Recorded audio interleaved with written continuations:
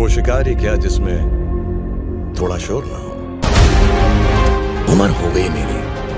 हाँ हो गई।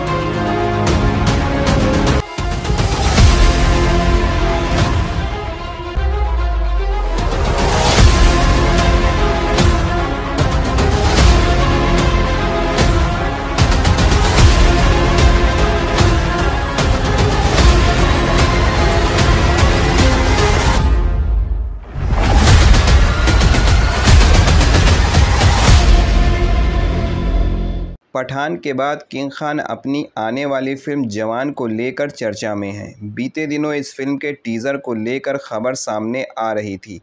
कहा जा रहा था कि फ़िल्म का टीज़र 7 जुलाई या फिर 15 जुलाई को रिलीज़ किया जा सकता है, लेकिन अब फ़िल्म को लेकर एक नया अपडेट सामने आया है। पठान की रिलीज़ के बाद अब शाहरुख खान के फैंस को उनकी मूवी जवान का बेसब्री से इंतज़ार है।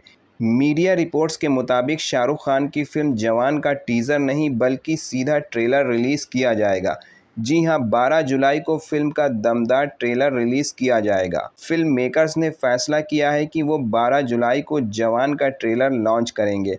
फ़िल्म का trailer Mission Impossible Dead Reckoning Part One के साथ थिएटर में रिलीज़ होने वाला है। इस खबर से फैंस काफ़ी खुश नज़र आ रहे हैं। इसी बीच खबर ये भी है कि जवान के रिलीज़ से ठीक दो महीने पहले इसका प्रमोशन शुरू होगा।